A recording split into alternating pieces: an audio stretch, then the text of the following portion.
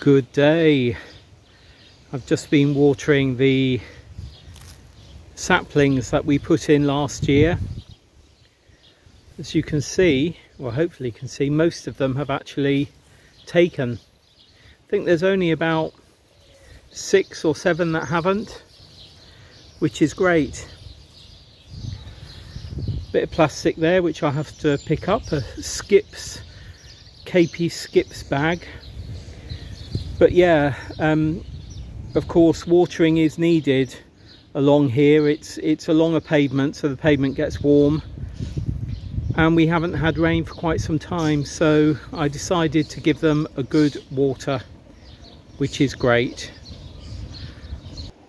It really is quite dry. We've not had any substantive rain for quite a, a while now and there's a breeze which itself is really quite drying. Not only drying for the plants but also drying for the soil the surface of the soil. I need to get back into this bed that I did some initial work on last week where I was sowing climbing beans. None are up yet. And uh, just carry on weeding. But what I have noticed is that I'm going to be harvesting our scapes on our hardneck garlic. So hardneck garlic, they form scapes naturally, which are these. This is effectively a seed head if it was allowed to go to seed. So it would flower, be pollinated and then go to a seed head. And you know when they're ready to harvest because they do a complete circle like this. And if they go beyond this point and start straightening out, that's when they start going to flower and the scape itself will be rather more tough than it is at the moment. And then what I would normally do, I have learnt from experience, is leave these in for another month. But as you can see, the leaves are beginning to, to die back on all of them. So, yeah, I think this one here actually I've left go a bit too long. I think its its neck is beginning to straighten. So I'm going to pick that one off. But yeah, they all need harvesting. And that's fine, but I would normally leave these in for another month. But I, I sort of think they're virtually ready to come out. Maybe we'll lift one later in the week and see how they're doing. The thing is, I don't want any sort of significant rain or watering of these because I want the bulb below the surface to be drying because that's what's happening at the moment. If you water your garlic at this point, you're likely to um, bring about rot, which of course is not good for storage. In fact, you can't then store I think when we harvested last year we had quite a lot that was um, with uh, white rot. So yeah. Anyway yes. Nice to see the scapes forming. And you can see there the beans are beginning to form. I mean they're beginning to if I can get into this one they're beginning to start fattening up quite nicely. I think uh, a week or so yet. And I would normally be snipping out the growing tips. But you know what? The black fly that is here seems to be doing very little damage at the moment. So I'm just spraying it at the moment or spraying them off. So I'll be doing that shortly to these. Yeah, but as you can see, no, absolutely no ladybirds, which is very bizarre. Our tomatoes, or the surviving tomatoes, which have been out for about five days now, are really firming up in this breeze that we're getting pretty strong plants, even the younger ones at the back there, which are the ones that we don't know which variety they are. So yeah, they're, they're beginning to firm up. And what I've also noticed, if we come over here, when I was clearing a bed the other day, I noticed oh, can you see here? And here? Where am I pointing? Yeah here and here. Those are volunteer tomato plants. So I'm giving them a water and weeding around them. I will I mean how many are there? There one two three four five at the moment. And once they're larger I will be taking them out and planting them into maybe into this bed but into a different bed because obviously I don't want them to grow to full size where they are because that's five tomatoes that if they did all grow to maturity would be far far far too close. So yeah they'll be moved maybe in a week or so as I was coming down here, because it is quite bright and sunny, I was wearing my sunglasses. And it was only when I was halfway down here, I noticed I was also wearing a set of reading glasses. Not over my eyes, but sort of at the top of my head. So um, I thought actually I better take them off, but if I take them off and put them down, I may lose them. So they're sort of both going like that at the moment. But yes, we have had a really drying breeze, constant drying breeze for a good few days now. And that has meant more watering than usual, particularly with things like the, the beans that we put in, particularly with the seedlings, the plants like the tomatoes we've just seen that we've got on the bench here.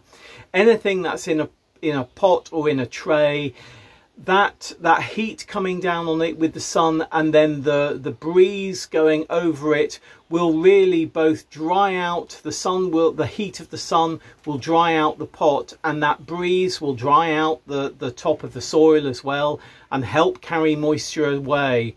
So it's really good to remember to give things a really good water when there is such a drying breeze and such warm weather too it's not so much it's it's not so bad when the the soil is sort of baked and it's still sort of damp down below.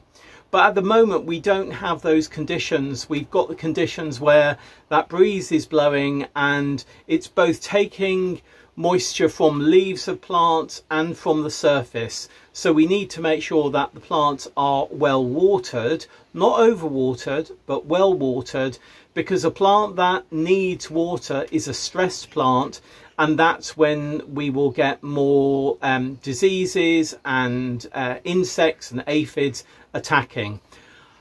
On the broad beans with those black fly, broad beans get black fly, you know, year in, year out. And I'm amazed that we've got so few on there.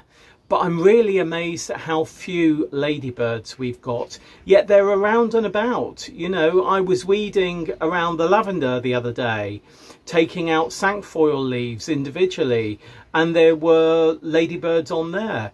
I was doing things over by the um, uh, chamomile, yeah, by the chamomile.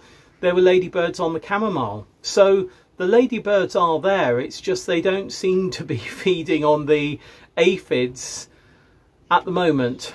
Maybe they're maybe they've got food sources elsewhere so they're not bothering too much.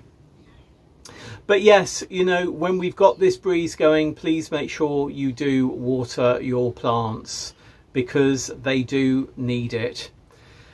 And that's all I'm going to be doing today. I've had a really good morning at my desk doing things for for her sake. I got about another hour, maybe an hour and a half of writing to do this afternoon. I've spoken to mum, so I had a really good chat with her a short while ago and now I'm just going to carry on watering and um, yeah just sort of enjoying that breeze because that breeze is, is rather nice with the heat of the sun and the coolness of that breeze it's rather nice working out there it's sort of perfect for working But uh, yeah, the, the plants do need that water. And on that, I do need to water the polytunnel today because it needs watering every day at the moment. We had a work party a couple of weeks ago and the fence line was weeded because it was getting quite overgrown with uh, weeds, but also with sycamore seedlings which were coming up. So all of those were pulled out because of course we don't want any sycamore seeding in that uh, fence uh, hedge line that we have planted. We're leaving things like dandelions and putting in things like primroses and, and bluebells, and, you know, a few daffodils, that type of thing because that will just be lovely and of course give colour in the spring. But in terms of, of trees, we only want hedgerow plants in that hedge so that it softens the greenery of the, the metal fence, which of course is, is part of keeping the site secure. So yeah, there we are. Right, I'm going to go. I will see you very soon for another segment of A Week at the Plot and I think we are going to be sowing dwarf beans or as you say in the US bush beans. See you very soon. Bye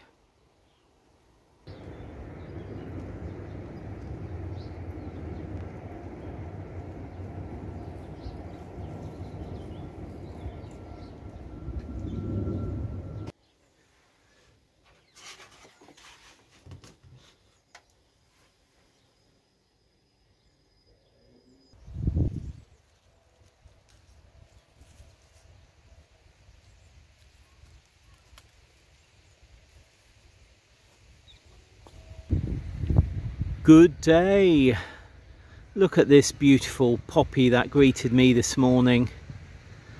Not had one of these on the plot before.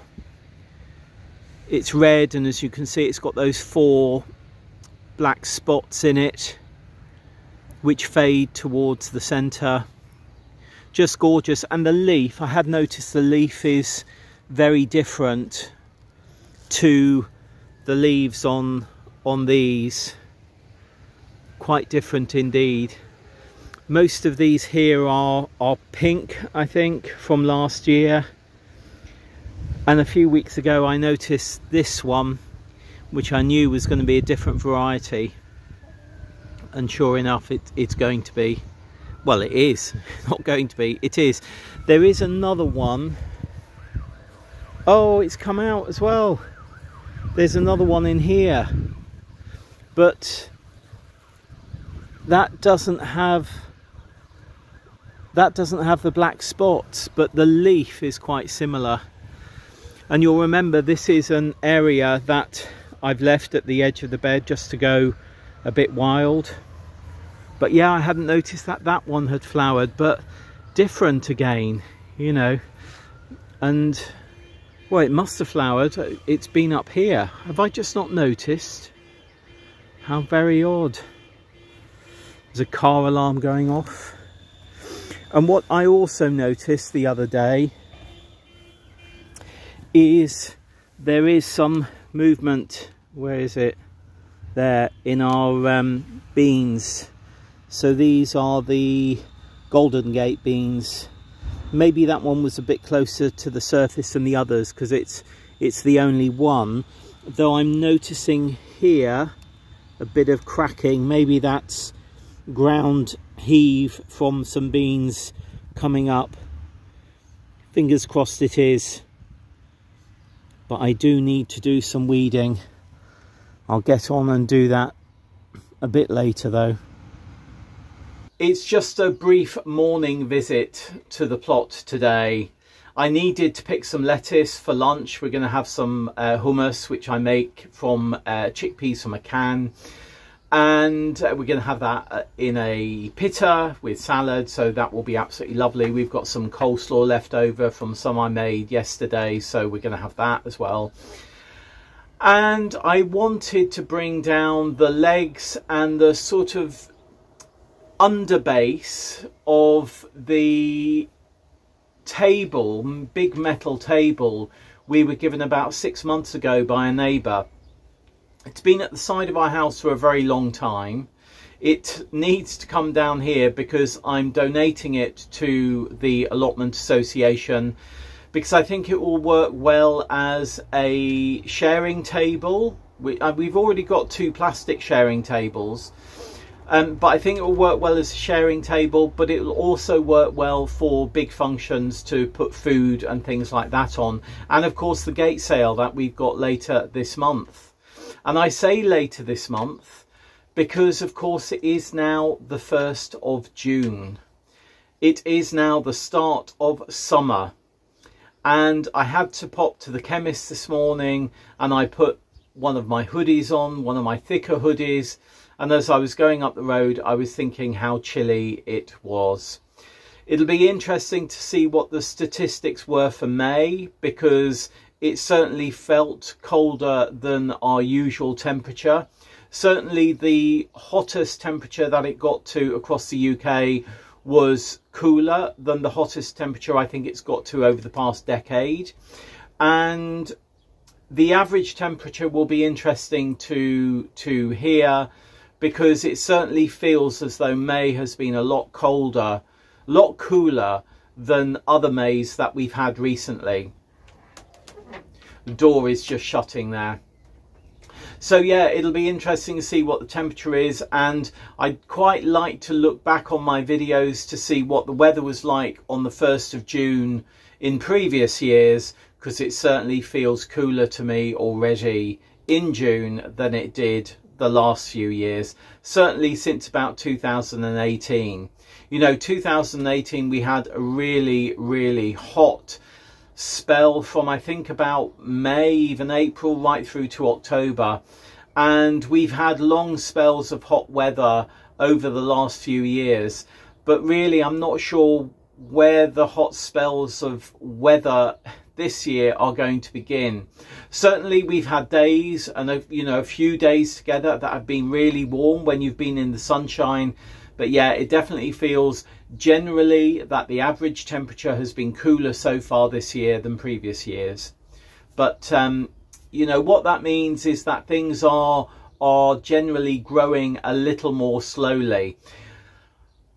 Those lettuce are doing really well, which is great because they're going to be feeding us uh, twice a day, lunch and supper for, you know, a good many months to come but yeah, it just feels as though things are just a little bit cooler and a little bit slower. And oh, there's a wren. Oh, can I get it? Oh, oh, it's just so tiny. It's gone. Oh, they're just so tiny. You know, they really are. Oh, and now there's a robin on the corner of the shed. Hello, Mr. Robin. I think it felt it, it wasn't being paid attention as I was um, as I came away from the lettuce bed, of course, the robin went uh, to the side of it to see if there if I'd grubbed up any soil and that there was anything that it could eat there. And I think when it saw me talking to the wren, which I think is nesting in one of our dead hedges here, I think it thought, hey, hang on, I need a bit of attention, so it flew to the corner of the shed. Yeah, anyway, there we are. Waffle, waffle, waffle. Um, yeah, so I, I brought the legs and the sort of underbase that the legs screw to and the tabletop screws to the underbase, if you see what I mean. Um, I brought that down. I need to bring the tabletop down, but that's going to need either a large van or a few strong people, um, preferably tall because this table is quite large. And um, and then yeah the the lettuce. But when i saw that that poppy it was just it was just glorious because i had not seen it before. And i think that's that that's what happens sometimes you know like looking at the other poppy at the the end of the bed where obviously it has flowered twice already and has gone to um, a seed pod is developing now where the the two flowers were. And um, you know sometimes we we come down and we do things and we don't actually notice what's going on at our plots and in our gardens. You know, we like this morning I noticed the rock rose in our back garden was out and I said to Richard, all oh, the rock rose is out. And I know that Richard had stood at the kitchen window looking out into the garden for a few minutes like half an hour before and there's no way that that rock rose will have opened in that half an hour you know uh, and he hadn't noticed he'd been looking out and not noticed. We did spend a little time in our back garden last night which was quite nice uh, just having a i had a cup of tea and and uh, richard had finished his. So we were just sitting outside yeah, enjoying the the quiet because it was quite quiet last night. Being half term there's quite a few people who are away which is lovely because our back garden is then a little bit quieter. But anyway, I need to get home because there's things to do at home. I think I will be down later to do some weeding. If I see you then, I will see you then. If I don't, I'll say goodbye now. Bye. Good day, and I hope you're having a good Sunday morning. Well, it's Sunday morning for me anyway and I'm having a good Sunday morning. I have been down and done a few jobs already. I've mostly been down for maybe half an hour, spoken to a few people, you know, that type of thing, and done some watering. But what I'm down here to do this morning is to sow dwarf French beans, or bush beans as you call them in the US. I'm sowing two varieties because I have the seeds. Rocquencourt, these are our own saved seeds from a few years ago 2021 and I'm also sowing these which are uh, Venice.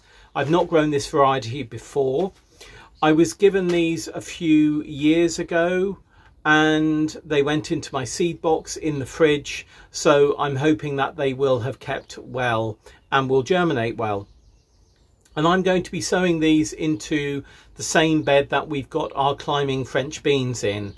As you may remember, the climbing French beans are sort of tucked in from the edge. So I'm going to be sowing dwarf beans down the edge. And also at the end of one of the beds we've got an area that there are no climbing beans in. So I'm going to be sowing that sort of it's about half a bed fully with dwarf beans.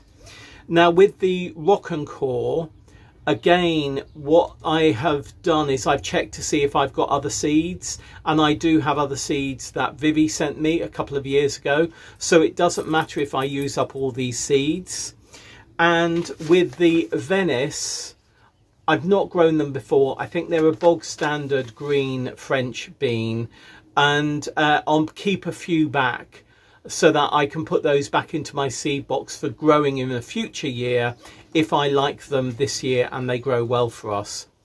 What I'm also going to be doing as we've got our plant sale in just under three weeks time is I'm going to be using these modular trays to sow two seeds per module and then hopefully all of these will come up and we'll be able to sell those at our plant sale to raise muns, uh, fun, raise muns, raise money stroke funds for the association. I've got plenty of compost, so that will be absolutely fine. What um, I also found when I came into my shed this morning, a bottle of wine. Um, I know exactly who this bottle of wine is from it's somebody that I gave some advice to about something a good couple of weeks ago and in uh, as a thank you they've given me this this bottle of wine which is really lovely. It was something about the the site and it's sort of advice i would have given to them anyway but you know it's it's nice to uh, be appreciated. So that's great. I also whilst we're here um, I also came in and there was a, a note in my shed. Excuse me. And I sort of thought I knew what it was, but there was something sort of firm inside. And it's a lovely card I've received again from one of the tenants here um, and just it's, it's, a form that needed signing by the tenant because the tenant wants additional growing space so and she wants a specific plot so what we do is we have forms here that if someone wants additional growing space, they can fill in a form. If they want a particular plot, they can fill in a form so that when that person leaves that plot, they're on the, the waiting list, if you like, for that plot. And the thing is here, you can have up to one full plot per household. And um, this tenant that gave me this, they have, I think, uh, a third of a plot so they can have another two thirds of a plot and the one that they put their name down for is actually another third of a plot because they thought that that would be great for them. So I've got the form here which the uh, tenant has filled in. I will scan that into my computer later on today and then their name will go onto the waiting list which is kept electronically so the the reason that I brought in these forms, doing these forms, is so that I, being chair, and other people being committee members, couldn't be accused of favouritism. Because favouritism goes on at so many other sites, and I know I've discussed this before, um, but you hear it often, and you know, I think it's really important that we, you know, we all we will always have our favourites on on site and you know our favourite people, but favouritism is something different. Um, so it's good to have forms filled in, and then you can always refer back to the form and say, well, no, I'm, uh, you, you know, if someone claims favouritism, you can go back and say, well, no, you filled in your form on the 15th of September, they had already filled in a form on the 4th of April, and therefore they were ahead of you in the waiting list, and you have that proof. So that's the way I have liked to run the uh, the committee and the association and the tenants here. Of course, you know, should our house sell and we be leaving, the committee and the, the next chair can do as they wish. But I think it's really good to do that because it reduces, it gives you evidence that you're not being favourite when you're giving out different plots, you know, to, to different people. Um, yeah, I, I just think it's important, you know, I we all have our favourites, but favouritism is something which is quite different. And that is the door shutting again. So I think it's time for me to get out there and start doing some sowing. I'm doing it in exactly the same way as I have done it with the climbing beans that I sowed last week. Um, and I'm going to sort of rough up the soil first to make sure that there's there's a, a good um, structure. The ground is not too hard for roots to go into when these seeds do germinate. I'm going to do that first and then I'll get sowing and I think I'll then show you what I have done and we'll go into the poly and do some seed sowing in some of these seed trays. Down this side I've put the Venice and then all around here and up that side I've put the Rocquencourt. I haven't I've weeded but I haven't weeded in the middle there. I'm just going to hoe that. So I need to get a hoe and do that. But of course what am I going to do now? Now that I've sown these dwarf beans I'm going to give them a really good water. So I'm going to give them a soak now let that really get into the soil and then in half an hour I'm going to give them another good soak again. And then fingers crossed. So here's our cells. I'm going to sow two per cell. These are the Rocquencourt going in. Just going down about an inch. Drop one there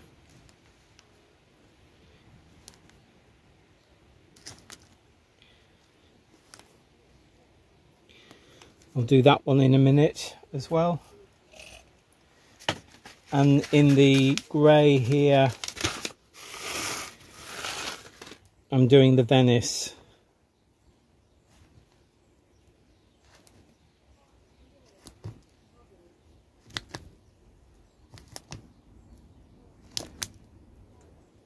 And in fact, I've got plenty of seed of both left, even after doing that Rocquencourt.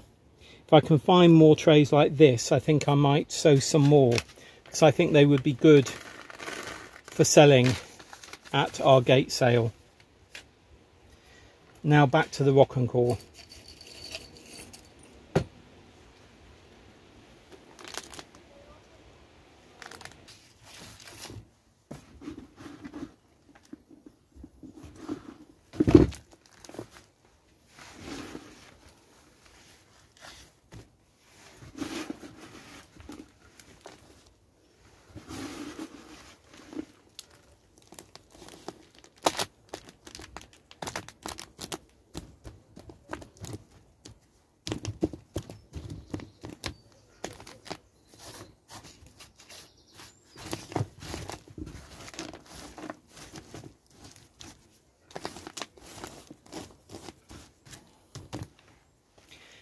Now they're going to get a really good water once I've taken the compost out of the tray. So that is our dwarf beans sown, both for us in the bed outside and for others in the trays in the poly here. Though I think it's going to be a bit warm in the poly. We've got just under, what have we got? What's today's date? It's the 4th. So we've got just under three weeks to the gate sale. So I think these are actually going to go outside and I'll most probably put them in the frame which has no perspex on the the top with the with the mesh on the top. So i'll put them into that grow house because they don't want to get too much heat. I, I you know i they're dwarf and i want them to get growing really well for the gate sale but not growing too much. You know it would be great if they were about sort of four inches five inches high and beginning to bush out so yeah, we will see how they do. And of course, if seeds don't germinate or if they germinate and get munched on, then I'll be sowing another seed to replace that.